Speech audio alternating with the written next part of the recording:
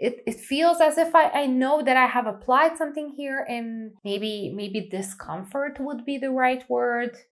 Hi guys, welcome back to my channel. So in today's video, I am continuing with Nivea sunscreen reviews. And in today's video, I'm going to do a review on Nivea Sunshine Control Mattifying Effect SPF 50 face sunscreen. And at first I will do separated videos for all Nivea sunscreens that I find. And at the end I will do the truth video as I always do the truth about Nivea sunscreens. And etc. You know, I have those kind of videos on my channel. Yeah, so as always, let's start with the claims. Okay, so Nivea claims that this sunscreen is lightweight, non-greasy, non-sticky, and it has a fast absorbing formulation and it's also uh, eye area friendly. It's made for people with normal to combination skin. It offers SPF 50 and UVA protection. It is broad spectrum, so that means that UVA protection is one third of the claimed UVB protection, and that is SPF 50. Okay, now let's move on to the ingredients list. Now, this, uh, these are the UV filters that are included in the sunscreen. So we have hummus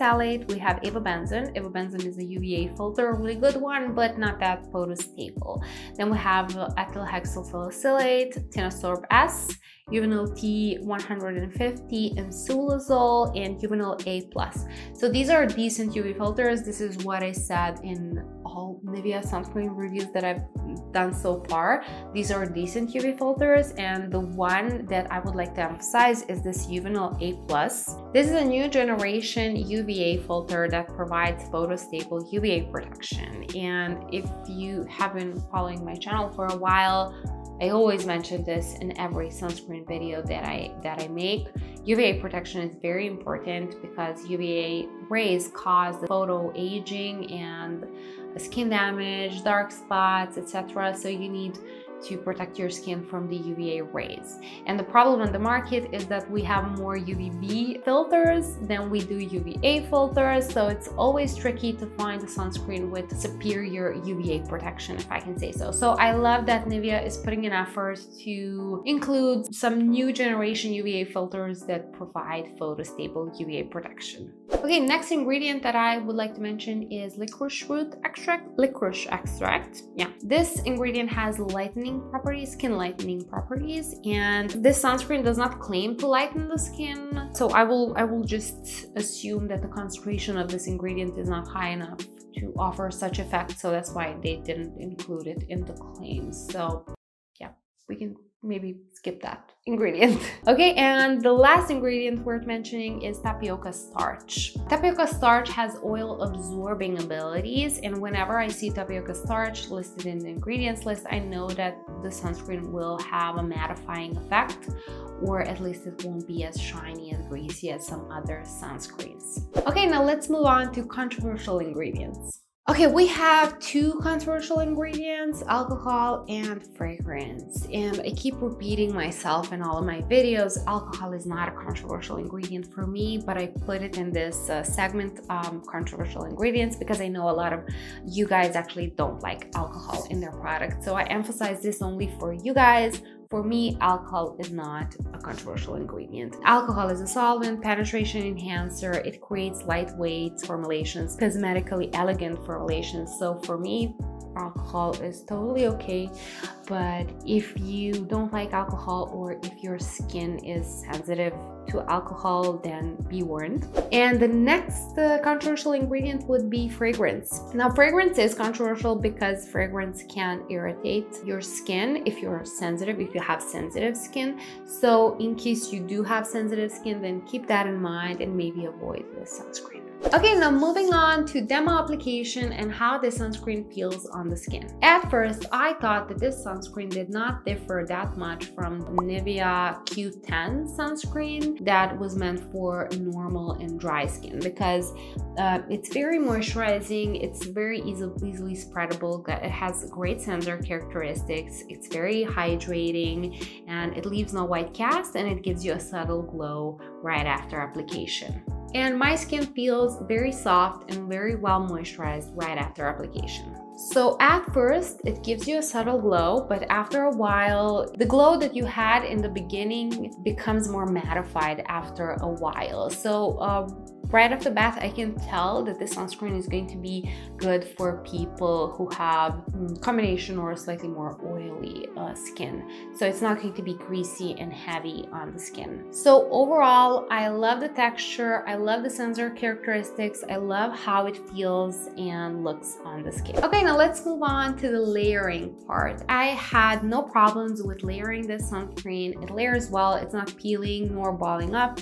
The second layer gives you a more intense glow, but then after a while, it again becomes more mattified. So this is definitely a mattifying sunscreen. I just wouldn't call it like completely matte, completely mattifying. I would maybe call it semi-matte. It gives you a semi-matte finish, which is again great. You know, it's not greasy, it's not heavy, it's not sticky. So it really gives a nice finish on the skin and I do love that. Moving on to makeup application. I had absolutely no problems with applying makeup on top of the sunscreen. And as a matter of fact, I think this is a great base for makeup. As you can see, my foundation is looking flawless and my face is, yeah, pretty much skin is looking flawless.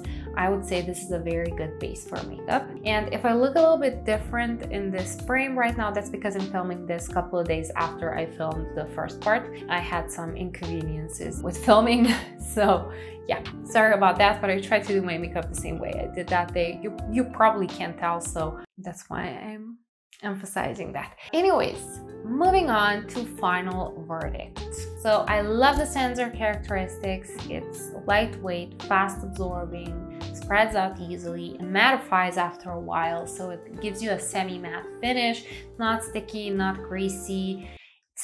Seriously, it's truly amazing and I love the sensor characteristics on the sunscreen. Nivea truly did an amazing job with the sensor characteristics here and I can easily recommend it to people who have oily skin type. And even if you don't have oily skin type, you can still use it. I have dry skin and this looks amazing on me. It's it's not completely mattifying. It, it moisturizes but mattifies at the same time so you have a semi-matte finish. It's pretty much a win-win combination in a sunscreen. So I can easily recommend this to everyone. But I did have one dilemma that I have to mention right here. Once I first apply it, so for the first couple of hours after application, I feel something strange around my eyes. It's, I cannot call it straight up irritation. It's not irritation. It's not like the irritation that I had with Q10 uh, sunscreen, also by Nivea. If you remember that video, or if you haven't watched it, you can watch it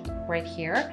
So that sunscreen gave me watery eyes and I couldn't really handle it and I had to remove it right after application. So in that video, I didn't even do the makeup application test. For this one, it's not like that. For the Shine Control by Nivea, it's not like that. It's not straight up irritation. I cannot call it irritation. It's not irritation because it disappears after those couple of hours. So it lasts only for the first couple of hours after application it, it feels as if I, I know that I have applied something here and maybe maybe discomfort would be the right word. But then again, it's you know, it's not that bad. I don't have to remove it right away. I can handle it. You know, I can handle it. And then after those couple of hours, it just disappears and I have no problems with it throughout the day. That's just one thing that I noticed that I want to emphasize, and I'm emphasizing this because if you do have sensitive skin, maybe you should be careful with this sunscreen and you should think twice before getting this sunscreen. So this is only if you have sensitive skin. If not, if you don't have sensitive skin, then just go for it. I have a friend who uses this sunscreen and she loves it. She has normal skin type.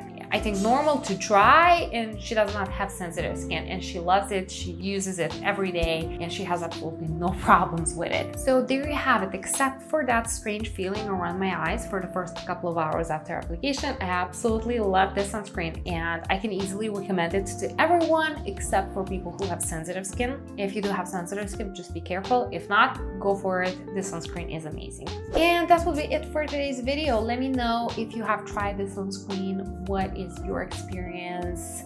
leave a comment down below and share your experience with others. And yeah, thank you so much for watching. I will see you in my next video. Bye!